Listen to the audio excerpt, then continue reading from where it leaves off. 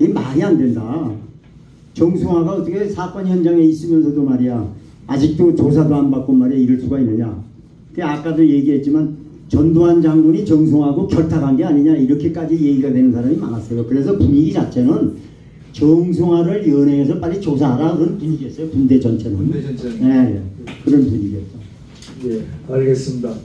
뭐 저는 좀 궁금한 거 거의 다 물어봤는데 아까 또 육군 소장이 육군 대장을 체포한 건 하극상 아니냐? 그러면 아무리 상태도 그런데 그것도 뭐 아니라고 얘기를 하셨으니까 아, 그 절대 아니죠. 그 예. 소장이 어떻게 대장을 연애할 수 있어요? 그건 그건 그 군대 조직을 모르는 사람이 무지해서 하는 소리예요. 네.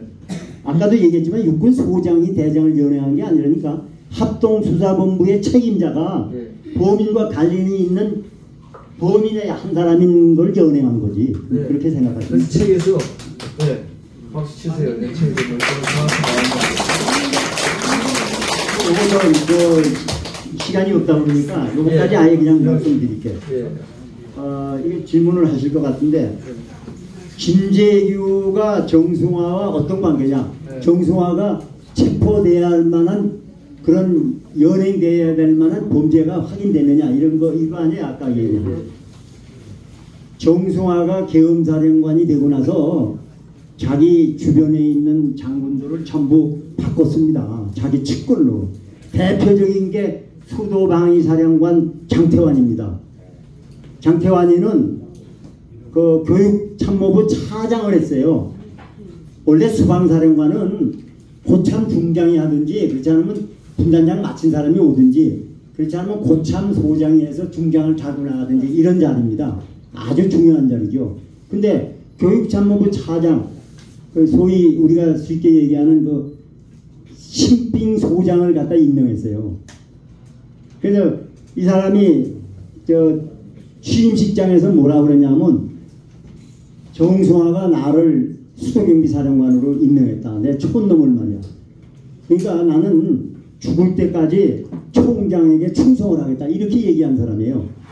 시작부터 벌써. 그러니까 이게 벌써 시작부터 정승화에게만 충성하겠다는 걸 저 세운 사람인데 그 문제가 되죠 점점. 그래서 그 지금 정승화가 왜 연행을 하지 않으면 안 되느냐 하는 걸 제가 한 1급까지는 요약을 해봤어요. 예, 예. 그쭉 그 수사 기록을 보고 예. 첫째 김재규가 이중으로 식사를 하자는데 쉽게 응했다. 이게 굉장히 큰 의심점입니다. 왜냐하면 아까도 얘기했지만 그거 하면 안 되거든. 대통령 만찬할 때까지 언제 기다려. 근데 이미 알고 있었다는 얘기도 된단 말이에요. 그게 첫 번째 그거. 그 다음에 수십 발의 총성이 났는데도 못 들은 척하고 식사를 계속했다. 거기서 한 300m 떨어져 있는 수경사 경비소, 초소, 그 다음에 궁정동 파출소도 한 300m 떨어진데 거기서 그 초병들이 뛰어왔어요. 여기서 수십 발의 총성이 나는데 이건 뭡니까? 그때는 이미 궁정동 안가는 중앙정보부한테 다 장악됐거든. 김재규 부하들한테. 그러니까 아 그거 여기 문제 없다. 당신들 돌아가라 그래가지고 돌아간 적이 있어요. 요런 그 총소리를 말이야 참모총장이 총소리를 들으면서 30년 이상 근무한 사람인데 권총 몇발 소리 뭐 M16 소리 그 요란한 걸 듣고도 멀리서 났다고 하는 건 완전히 거짓말입니다. 이건 완전히 거짓말이에요. 그게 벌써 그것도 의심이 많은 중에 하나입니다.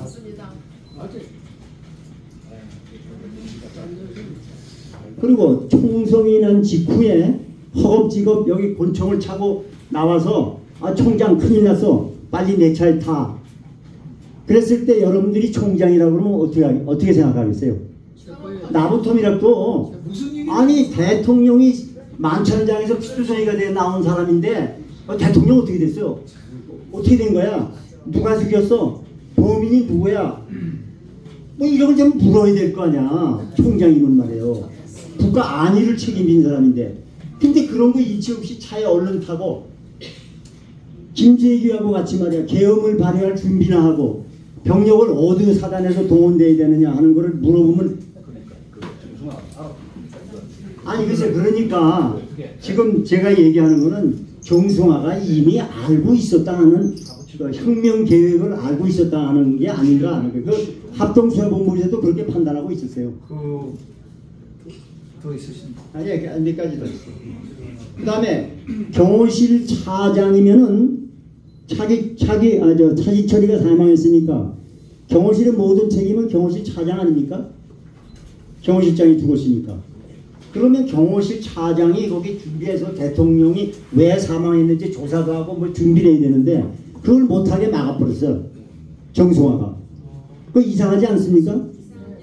그 다음에 수비도 경비 사령부를 시켜서 경호실을 포위하라고 하는데 왜 포위합니까? 나중에 알고 보니 나중에 수사 과정에서 뭐라고 그랬냐면 정승환은 차지철이가 범인인 줄 알고 그랬다. 그것도 말이 안 되는 게 차지철이가 범인이면 왜 차장한테 임무를 줍니까? 차장은 완전히 차지철이 부한데 경호실 차장 그렇지 않습니까? 이게 이것도 또 말도 안 되는 거짓말을 또 한 거예요. 그 다음에 이게 이제 계엄사령관이기 때문에 연행을 못한 거예요. 당장 연행을 해야 되는데 이게 엄청나게 권력을 다 장악하고 있는 계엄사령관을 여러분들 한번 연행하겠다고 생각해 보세요. 옆에 부대 전부 다 정비하고 대기하고 있는데 이걸 어떻게 연행해요? 그러니까 정확한 근거를 더 잡기 위해서 시간이 끌어진 겁니다. 그런데 에, 국무회의 비상 국무회의 접상에서 그 정승화가 뭐라고 그랬냐면은 박 대통령이 시해당한 거는 아쉽지만 돌아가신 거는 유신을 막는 데는 굉장히 도움이 됐다. 민주화 운동에는 굉장히 도움이 됐다. 있다고 소리했어요. 그래서 거기 백석주 대장이라고 그 대장 한 분이 일어나서 당신 지금 무슨 소리 하는 거야? 엊그제만 해도 유신이 살 길이라고 박 대통령한테 아부하던 사람들이 지금 와서 뭐 피가 마르기도 전에 얼마 되지도 않았는데 그따구 소리 할 수 있느냐? 그래서 여기저기서 대장들이 그냥 항의를 했어요. 그래서 회의가 중단됐어. 그런 게 이제 합동수사본부의 보고가 다 들어왔겠지. 그, 저, 그런 게 있고, 또 하나는 김재규가 법정에서 뭐라고 그랬냐면, 삼김 비토론을 발언했어요. 나는 민주화 세력이다. 그러니까 김대중은 사상이 불순하고, 김종필은 부패하고, 김영사는 무능하다. 근데 이 사람들이 대통령이 나올 수 없다. 그때 삼김이 막 대통령 출마하겠다고 난리 났을 때 아니야. 그런 김, 김재규가 발언을 했어요.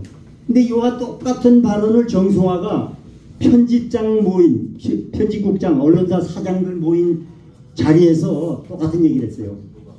어.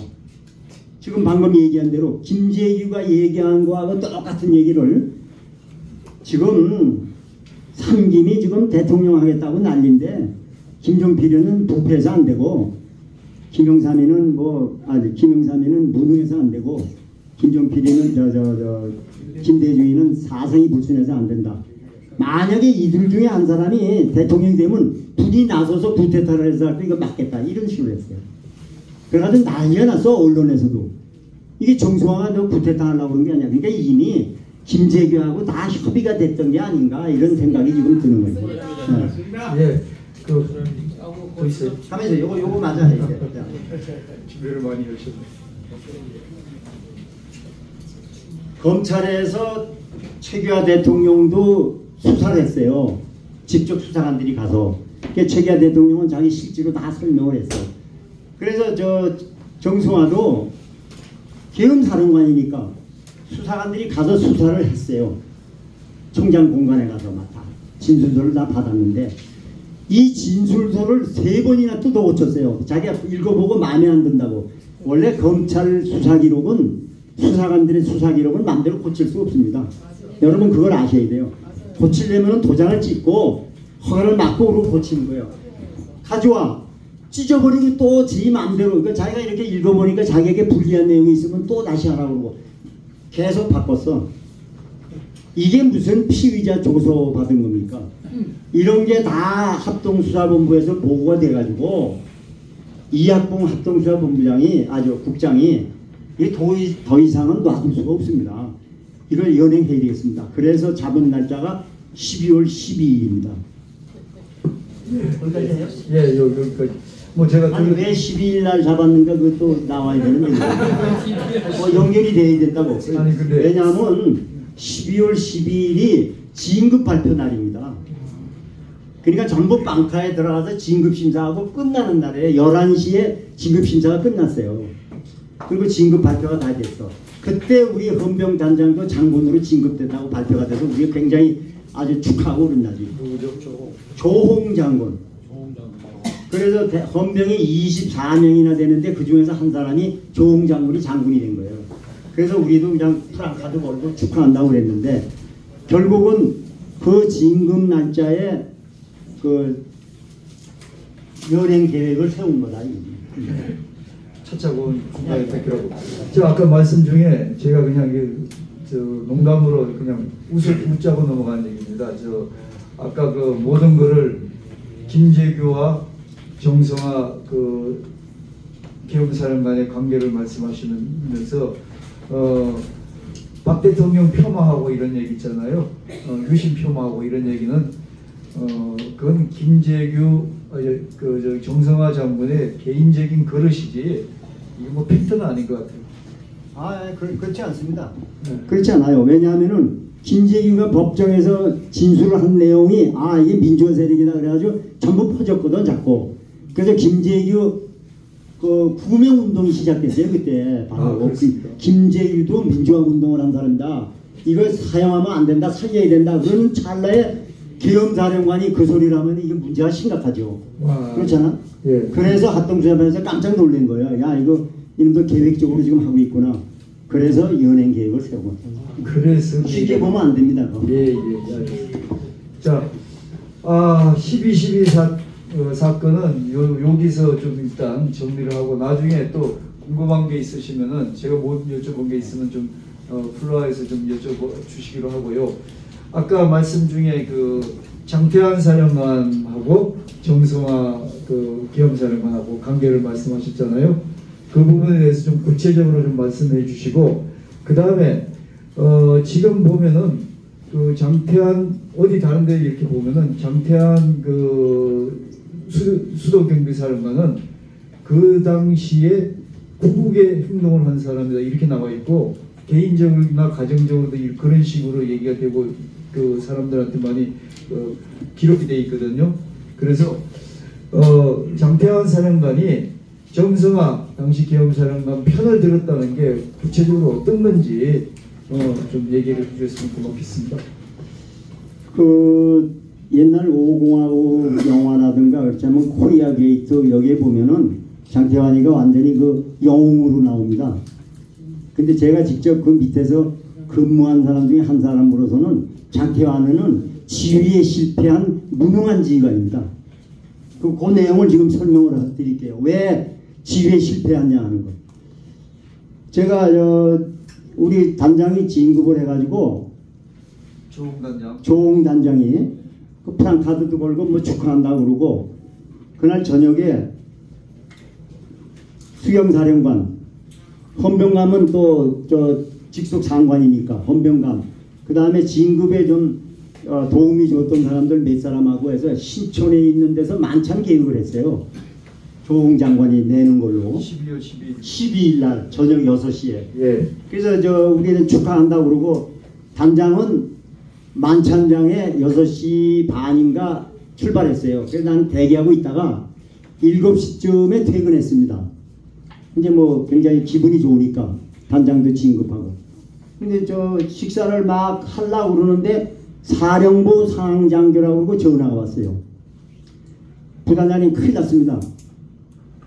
곧 권정달 대령과 우경륜 대령이 진급 발표에 불만을 품고 총장을 납치, 납치했습니다. 이게 첫 번째 저한테 들어온 상황 보고입니다. 정성화 총장. 정승화 총장을 납치했다고. 그래 나중에 확인하니까 권정달 대령은 아니고 허삼소 대령입니다. 근데 나한테 최초에 보고 들어온 거는 그런 식으로 보고했어요. 그래서 빨리 5분 대기절을 출동하라고 합니다. 그래서 부랴부랴 사람 저기 사무실에 와서 군복을 갈아입고 그리고 총장 공간으로 출동했죠. 왜냐하면은 보통 5분 대기조는 대위 정도가 인솔에 나가는데 총장이 납치됐다는 중요한 상황이에요. 그러니까 지금 단장도 지금 저 파티한다고 나가 있고 그래서 제가 상황 파악을 하기 위해서 현장에 직접 간 겁니다. 일개 소대를 데리고 그 가봤더니 총성이 몇 번 나고 뭐 그 앞에가 수가 아수라장이죠. 그래서 이미 정승화 총장은 합동수사본부에서 연행하고 나간 다음이에요. 제가 갔을 때는 총장 공간은 비어 있는 거지. 그런데 총장 공간에 있는 헌병과 밖에 있는 헌병하고 서로 대치하고 있는 거예요. 서로들. 그리고 안에, 있는 안에, 안에 있는 군병은 어디 있었습니까? 안에 있는 헌병은 아니 저 육군본부 헌병대하고 해병대 헌병하고 그 왜냐면 해군 참모총장도 거기 있거든 그래서 그런 사람들이 들어가 있고 밖에는 이제 수, 수경사 헌병이 출동해가지고 대치하고 있는 거지 그런데 조금 있으니까 수경사령관 장태환이가 도착했어요 온다고 나한테 보고 왔어요 그래 알았다고 그 도착하자마자 여기 누가 지휘하고 있는가 하고 고래고래 소리를 지르시더라고. 그 양반이 원래 다혈질입니다. 이 장태환이가. 그래서 아, 저 신중영입니다. 헌병단 부단장. 제가 지휘하고 있습니다. 그랬더니 아, 그래? 그래서 저는 이제 병력이 몇 명 출동했고 이런 거 설명을 하려고 그러는데 이 양반이 술이 굉장히 많이 취했어요. 파티장에서 하시니까 아마 엄청나게 술을 한 것 같아. 술이 엄청나게 취해가지고 신중영 내가 명령을 지금 하다라니까 빨리 이행하라. 저 안에 있는 들을 공격해서 체포하고 반항하면 사살해. 이거예요.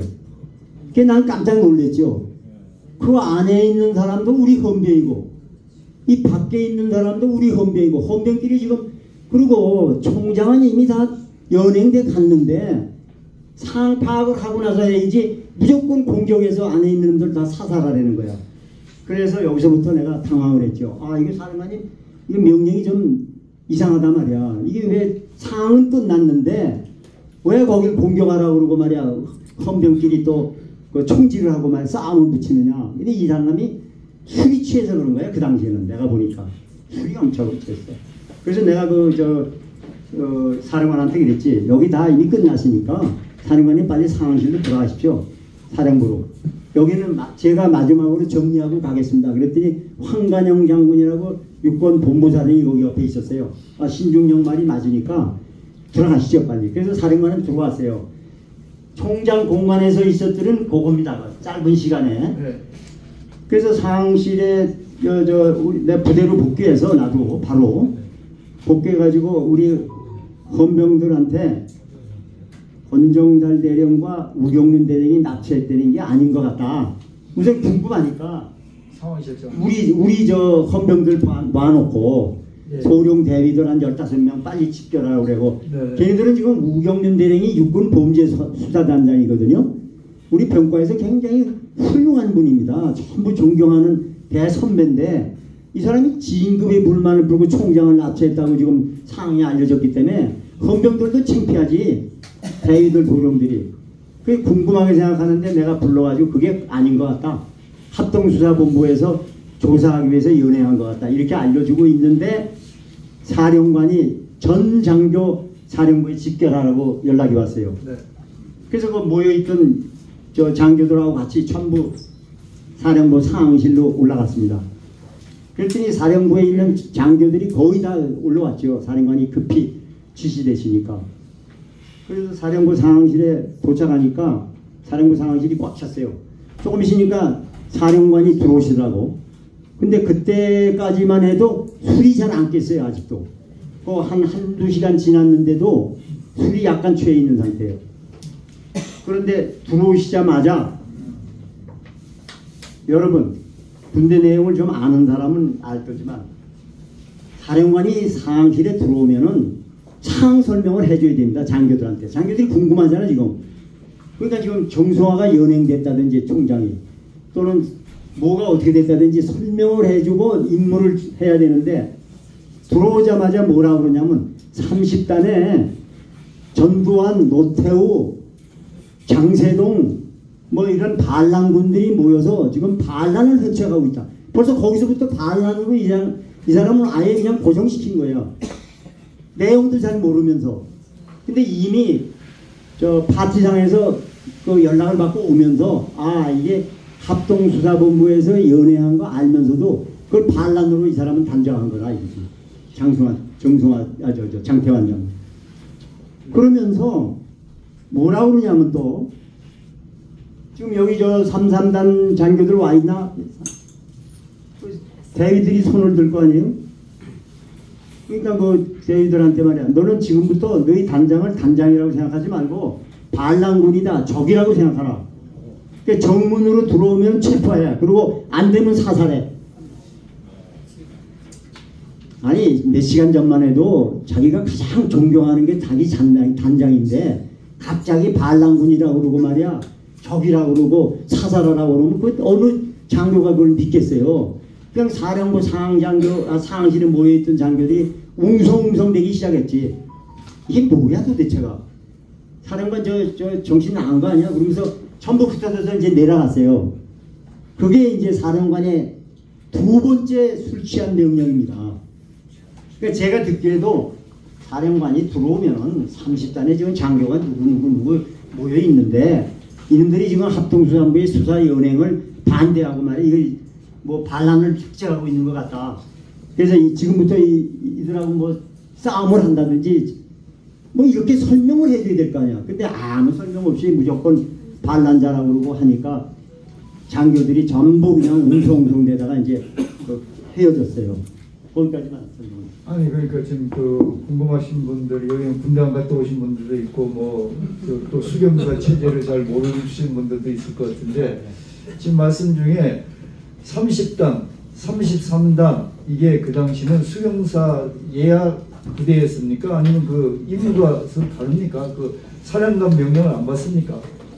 근데 사실은 예. 사실은 뭐 이거 설명하면서 예. 부대 조직까지 얘기할 필요는 없는데 아 30단, 33단, 포병단, 헌병단, 뭐 방포단 이렇게 다섯 개가 단이 있어요. 그리고 임무가 다 달라요.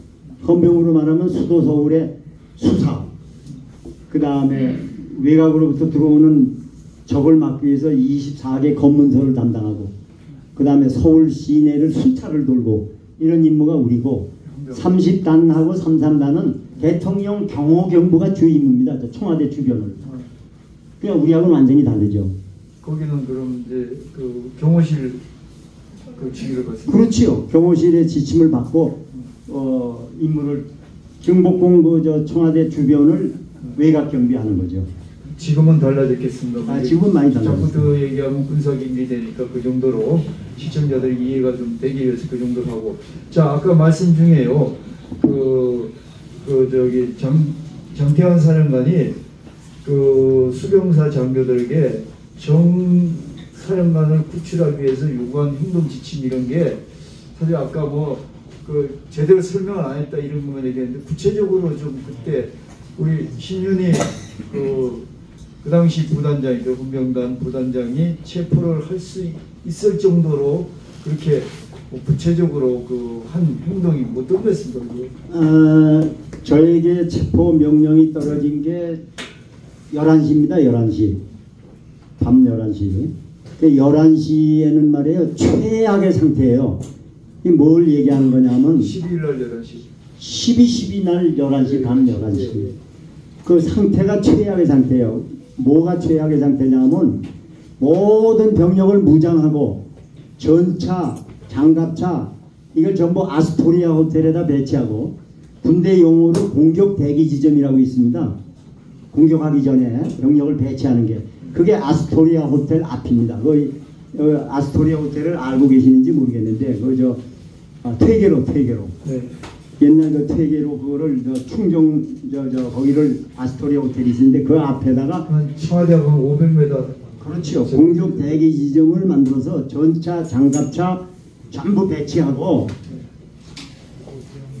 공격 명령까지 내리고 그랬어요.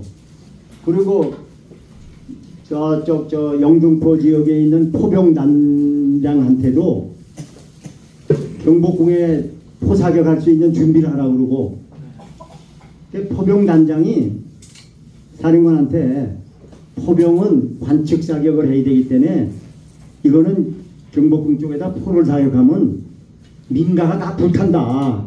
그래서 이건 안 됩니다. 가지고 사령관의 명령을 거부했어요. 호병 단장들. 그리고 각 단장들이 다 거부하는 거야 지금.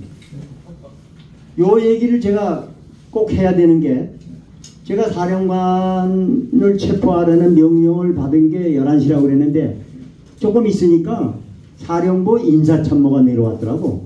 나 좀 꼭 만나야 되겠다. 그 이 양반은 일반 장교인데 나한테 내려와서 뭐라고 그러냐면 지금 사령관이 이성을 잃고 있단 말이야 지금. 뭐 그냥 무모한 명령을 하고 어, 부하들을 사격하라고 그러고 뭐 사살하라고 그러고 하는데 이거 도저히 군끼리 부딪히면 군대도 망하고 대한민국 망한다.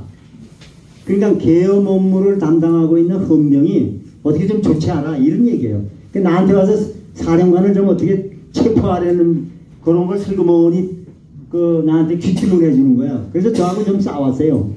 무슨 소리냐 말이야. 내가 그 저 사령관을 체포하는 명령을 받았다는 얘기는 할 수 없잖아. 그건 그 당시에는. 그러니까 당신들 뭐 하는 거야? 참모들이 말이야. 거기 많은데 사령관을 설득을 해야지. 그래가지고 한참 다퉜지. 그런데 그러고 나서 그냥 올라갔어요. 올라가는데 한 10분 후에는 정보 참모가 또 내려왔어요. 정보 참모는 우리 육사 선배인데 이 양반도 내려와서 똑같은 얘기 하는 거야. 저 인사 참모하고. 지금 이게 큰일 났단 말이야. 이게 그 경복궁을 공격하려는데 합수부를 이게 만약에 공격을 명령받고 공격을 하면 거기 뭐 한 5분 밖에 안 걸리잖아. 10분도 안 될 거야. 아마 전차가 이동하면. 그럼 완전히 그냥 불바다가 되는 거지. 서로 저 왜 그러냐면 이제 그 30단에도 전차가 있잖아요. 우리 저 사령부에도 전차가 있고 이제 그거는 내가 또 다시 설명을 하겠는데 그 한참 얘기하다가 또 올라갔어요. 정부 참모도 나하고 둘이 다투다가 한 조금 있으니까 전차 대대장이 또 들어왔어. 전차 대대장은 저하고 육사 동기입니다. 아주 가까운 사이인데 패턴 장군이라고 별명을 가질 정도로 아주 그 소신 있고 멋있는 장군이에요. 나한테 헐렁벌떡거리고 와서 야, 이 큰일 났다, 이야. 아스토리아 호텔 전차, 장갑차 전부 배치돼 있는데 사령관이 거기 권총을 빼들고 와서 말이야. 왜 공격 안 하냐고 자기를 찾고 있다, 이야. 전차 대대장 이 새끼 어디 갔어? 하고. 그래서 저한테 도망온 거야. 전차대대장이. 그래서 전차대장 얘기는 30단에도 우리 전차 일개 중대가 있고 33단에도 일개 중대가 있고 사령부에도 일개가 중대가 있는데 사령부에 있는 전차를 가지고 30단을 공격하라고 그러니까 30단에 있는 전차는 그럼 이거하고 싸워야 될 거 아니에요 같이 자기 부하들끼리 야 이거 어떡하냐 이럴 때 그리고 하소연을 하러 온 거예요 그래서 내가 다른 얘기는 해줄 수가 없고 나는 이제 체포 안 되는 얘기는 해줄 수가 없고 야 조금만 기다려. 도망 다녀 도망 다녀. 사령관이 나타나면 좀 피해. 그래가지고 시간을 좀 끌어봐. 그러면 해결될 거야. 그러고 보냈죠. 그 정도로 사령부에 있는 모든 참모들이 다 장태환에 대해서 거부 반응을 일으켰어요. 전부 장태환의 지시를 반대한 거예요. 아니 그러니까 지금 얘기 들어보면은 책에도 보니까 수경 수도 그 방위사령부에 350분의 장, 군 장교가 있었는데 뭐 대충 한 60분 정도만 그 정태환 사령관 지시를 듣고 나머지는 다 반대한 걸로 돼 있고 그 다음에 지금 아주 중요한 그 아까 아스토리아 호텔에서 그 동기분도 그 발표하라고 그랬는데 발표도 안 하고 그 다음에 그 신장모님은 체포할 생각을 가지고 있고 이러면은 소위 얘기하면은 그 당시 아무리 극한 상황이지만 군대가 그렇게 그 뭐 이건 군인이라고 얘기하기는 좀 그럴, 그럴 정도였던 것으로 그 명령체계가 안 서는 상황 아니겠습니까?